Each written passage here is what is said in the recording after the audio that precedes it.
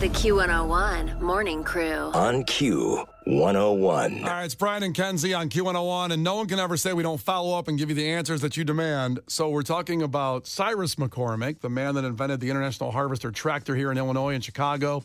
He's buried in Graceland Cemetery. Case, there's an update on how to find somebody in a cemetery, I guess. Yes, thank you to everybody who texted in and let us know that the internet is actually more incredible than I already thought it was. We can go to findagrave.com and find the location of the headstone of one Cyrus McCormick. I have looked it up. It seems very attainable to get to. I am ecstatic. Okay, this is and it's right in our neighborhood. We, we we live on both sides of Graceland Cemetery. We can meet in the middle somewhere, and we'll find his grave and take a picture because he's a great man. Uh, that well, I shouldn't say that because I don't know all of his beliefs, and maybe someone's going to find something. and I'm going to Oh, get That canceled. quote's gonna come back behind you. Holy crap! I mean, he invented a tractor, so he's got to be pretty good. Yeah, well, it sounds like he maybe bypassed the war to just build a tractor. I, I think Civil War we're probably safe. It's a good move. And Yeah. Ca- Case brought up the question then, as we got in this McCormick wormhole, is he the guy that McCormick Place is named after? Not true. Some texters said he is. Uh, Colonel Robert R. McCormick, who was a visionary and also served as For the tractors? No, nothing with tractors. He was a colonel. Oh, He was an anti-war activist, by the way, and he served as editor and publisher of the Chicago Tribune. And he spearheaded the drive to build a world-class convention center, and he put his name on it. Or they eventually just said, "We'll put your name on it." So, put your name on it. So they did. like it? Then you should have put your name That's on it. right. um, so yeah, he's he was a pioneer that way. Now, Kenzie then brought up, does Cyrus McCormick also make McCormick the seasonings? Yes, which or, are delicious. or the same family, Yeah, family they're- adjacent. They're not. They're all spelled different too, by the way. Oh. different ways to spell McCormick. Really? So no, they started, and all these people started in the 1800s. The 1800s case said like nothing happened. All these people, they did stuff. They made things that we use today. But they did stuff, but they didn't really get to benefit from any of it. They because didn't. all, all the things they did, we just took in the later centuries. I mean, it's tough. I feel like everything got made now. What do we need? I, I feel that way all the time. I go, what I'm like, next? thank- thanks for that. There's another And- another cool app. That's all I need. But these people built everything we use today. So McCormick uh, had the seasoning has 14,000 employees around the globe, and there's no Chicago connection though to the seasonings. But their revenue was three point no six point three one seven billion dollars last year. Oh, yeah. they made a billion dollars? You gotta Six be- billion. You gotta season that stuff. Oh stuff. my God. Well, you're a, you cook a lot. Do you use their seasonings? Yeah, I, I use. I mean, I use a ton of different brands, but I, for sure, McCormick's like you know, it's everywhere. It's up there. They got it. They're on it. So now we know all about the McCormicks, and I thought you probably it's the information you didn't think you needed today on Q101, but it's there for you. A lot of successful McCormick's. Super. Is there a McCormick out there that's done something good? One of our listeners. Is your last name McCormick? I bet they did. I mean, it just. It's just in your blood. If your name McCormick, It you're gonna do breeds something success, great. yeah. We want to hear from you at 312 591 8300. The Q101 Morning Crew. On Q 101. The Q101 Morning Crew. Sports. And uh, I am putting that bet on DraftKings. It's plus 275 for Connor Bedard to score five plus shots on goal. That's reasonable. What does that mean? What does plus two seventy five mean? That means if I bet 10 bucks, I'll make $27. 27 and a half. Now, now, want to get on. Why that? do you have to bet ten? Oh, you, I can bet five. I can do whatever I want. I can bet How 100. much would you make if you bet five? uh, half of that. So uh, It's very confusing. I don't get like the well, this is a point two seven eight, so you'll win a thousand. I'm like, why? we talked about this earlier in sports with Kenzie, and she doesn't know anything about gambling, and she was stunned to find out that you can bet on all kinds of things, not just a win or just loss. scores. Yeah, no, all kinds of stuff. So, Kenzie, I know you don't gamble like Brian and I, but if you want to dip your toes in tonight on DraftKings, like Brian said, that bet is plus 275 for Connor Bedard to record five shots on goal. If you put down $5 and he does that, you could win $18.75. Okay. That's pretty good. Yeah, it's right there. So what happens if you don't? What happens if you lose? you lose the money. You just give it. Unless you sign up with promo code Q101. You just give it away. So yeah, in betting, when you lose, the money you bet goes away. It's, it's mm-hmm. like it's like poof, poof, it's It's not gone. fun. And, and then, then you can bet another day and maybe make it back. That's horrible. So I just spent five dollars just because he didn't do like enough stuff during the game. No, you win $18, you bet $5. You're making money if he does that. You Wait, lose but the, you're losing money if he doesn't do what he's supposed to do. but you're That is- losing way yeah. less. Yeah. That is called gambling. You're losing less. You're losing exactly what you had. You have problems, Brian. No, I think I'm uh I'm pretty fine. Oh, over it's here. just a, it's a hard concept for me to understand why it's fun. I'm like, Oh, I want that back. I could have bought You know why? Because it was a great a little line. drink or something. I'll buy you a drink if you gamble with me. Okay, so it's it's a great line in a movie called The Color of Money. Money won is so much sweeter than money earned. Right, but what if you don't win and then you spent your money? Like, isn't that like the worst case scenario? You end up just chasing. You got to go back, get off, get back on the horse, and say, "Oh, it was just that was a bad one on me." Kenzie, I lost $45 betting on football this weekend, Oh my god! and I am ready to get back out there. I Yep. am ready to get hurt again. Uh, that I honestly that sounds awful to me.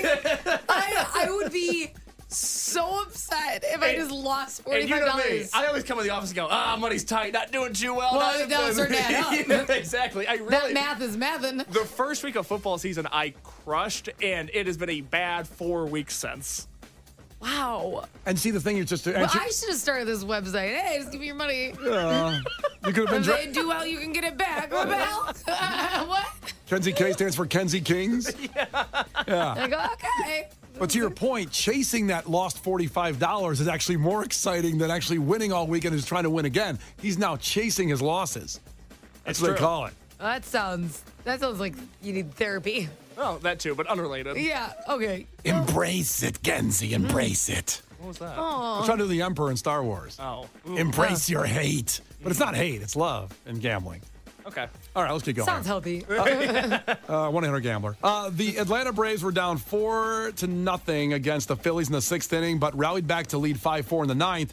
This was big in my household. My wife, uh, Megan, of course, from Philadelphia. Uh, little Harper was wearing her Phillies outfit. Bryce Harper was on first, and the Phillies were threatening when this disgusting thing happened. 2-2. Castellanos in the air to right center field. Harris is on the run. Harris at the track. He leaps What a Harper call. might be doubled up. The throw gets away. The throw to first.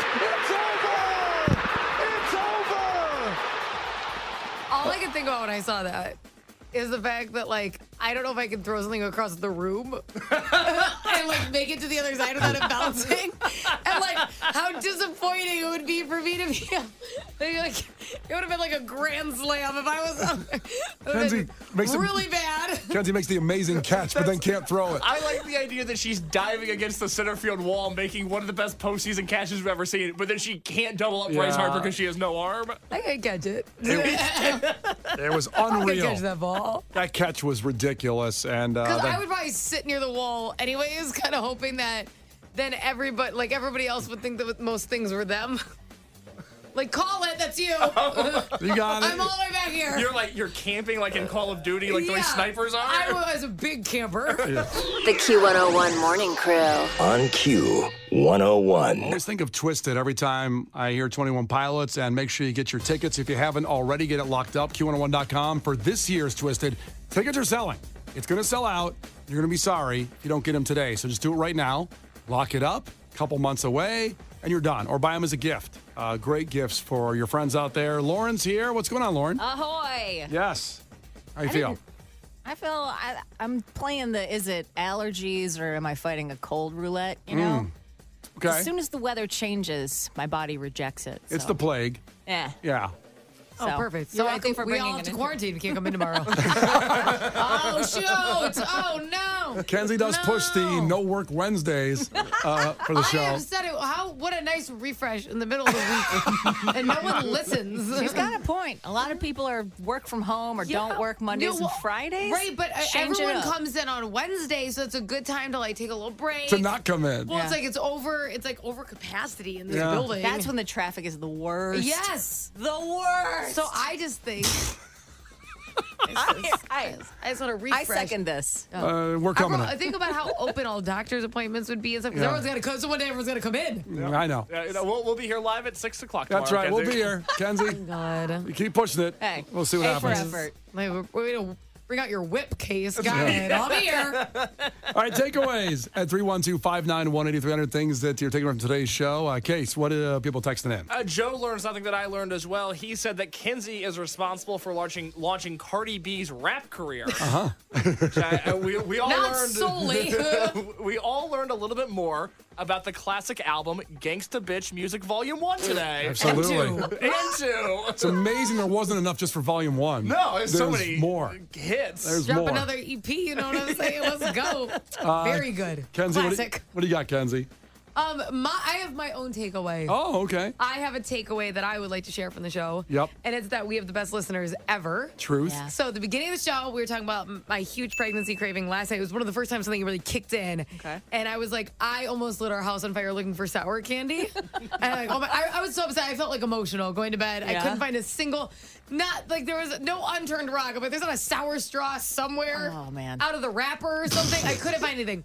And um, Chef Sean dropped off an entire box of sour candy Oh, he's at the the studio. How cool is that? There's a couple other things I need, so I'll just Just make a list. if anyone wants to get my Amazon wish list, that I have a baby, uh, yeah. Thank you. Thank you, Chef Sean. Uh, Amazing. finally, Jennifer, takeaway. Farm harvesters do not make quick getaways. They do not. And if you really want to know what that's about, you got to go to the 8 o'clock hour of the podcast. A lot of, a lot of different wormholes of that conversation. Hey, You you can learn if you go to the Brian and Kenzie Q101 Morning Crew podcast, which is available anywhere podcasts are found. You can learn about Cardi B's rap career, the history of farming in Chicago in the funniest way possible, and so much more about a guy, a guy who got two DUIs in 17 minutes. It's all in the 8 o'clock podcast. It's fantastic. I'm sold. Also- I found out that's an easier mistake to make than you may think. Lesson learned. I'm, I'm on his side. Make sure you subscribe, like, and share the podcast. Uh, Lauren, what do you got coming up? I've got boys like girls and state champs tickets coming at 12:30. 1230. Be here. The Q101 Morning Crew. On Q 101.